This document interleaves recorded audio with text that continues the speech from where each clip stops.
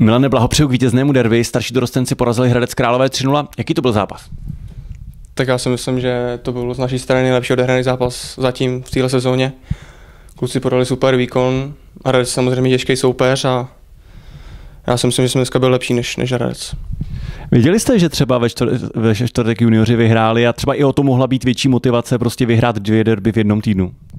Jo, tak určitě. Mm, juniorka, juniorka je porazila Hradec ve čtvrtek a my jsme to chtěli navázat a chtěli jsme taky udělat úspěch a povedlo se. 3-0 vypadá to jako pohodový zápas, předpokládám, že tak jednoduché to nebylo. To určitě nebylo jednoduchý, protože Hradec je vždycky nepříjemný. Těžko se s nima hraje, mají, mají uspořádanou obranu, hrajou to zezadu a dneska se nám to povedlo a jsem za to rád. Vy jste vlastně hráli proti hráčům, kteří v těch posledních dvou sezónách v mladším dorostu Hradci získali mistrovské tituly. V čem tkví síla Mountfieldu a proč ne vždy se daří vyhrávat derby?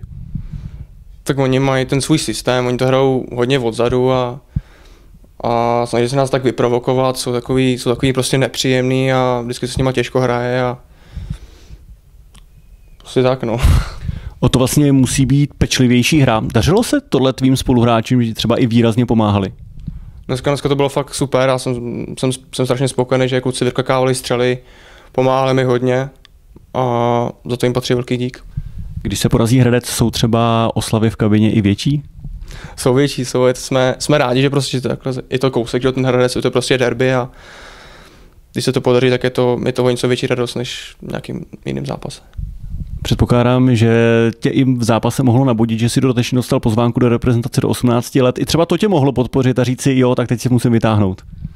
No, tak já jsem za to rád, protože jsem tam měl místo zraněného golmana a já za každou pozvánku jsem, jsem strašně rád a jsem, jsem rád, že můžu prostě reprezentovat svou zem, i když je to, když to není zápas, je to třeba tréninky nebo takhle. Poslední věc, zpátky ke staršímu dorostu. Už jste, řekněme, ze sebe semleli eh, ty nezdary ze začátku sezony, kdy se vám úplně nedařilo, teď jste vyhráli druhý zápas v řadě a už to podle tebe i třeba herně vypadá tak, jak by to mělo vypadat.